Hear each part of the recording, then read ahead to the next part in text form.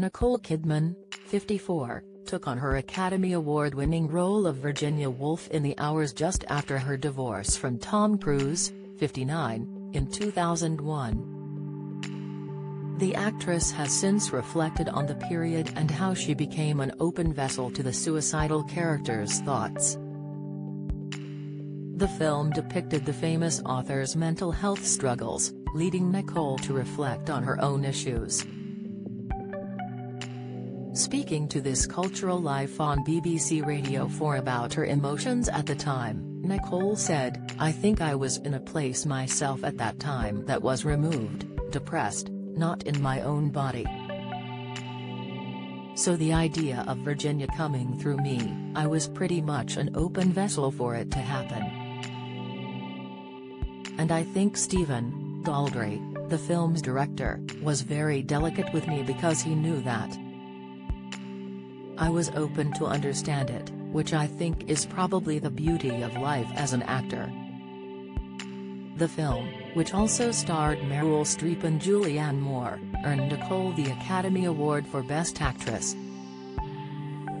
Detailing her mental health experiences, Nicole continued, There's a point where you're like, oh, I have so many experiences now. I've delved and traversed many different landscapes of mental health and loss and ideas and joy and raised birth and you know, life is what it is. Nicole filmed the role in 2002, a year after she split from Tom after 11 years of marriage and adopting two children, daughter Isabella, now 29, and son, Connor, 26. Nicole reflected on the split in a 2012 interview with Who magazine, with the actress admitting, when it didn't work out I had to really dig deep and find my way through depression. I have no regrets about all of it. It was all part of growing up. Nicole is now happily married to country singer Keith Urban and has two more children with the singer. Her biological daughter Sunday Rose was born in 2008. In 2010, the couple welcomed their second daughter, Faith Margaret, via gestational surrogacy.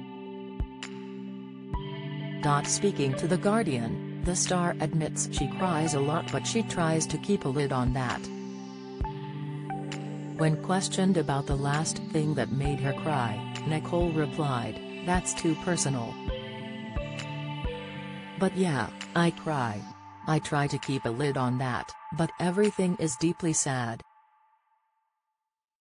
The Big Little Lies star continued, there's a huge melancholia, right? I mean, when you really study melancholy people, we're very present. I have an enormous amount of that. I think a lot of people walk around with it too, don't you? Nicole is the recipient of numerous accolades, including an Academy Award, a British Academy Film Award, a Screen Actors Guild Award, two Primetime Emmy Awards and five Golden Globe Awards.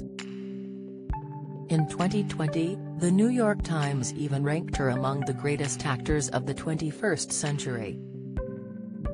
As well as her acting roles, Nicole does a lot for the community including being a Goodwill Ambassador for UNICEF since 1994 and for UNIFEM since 2006.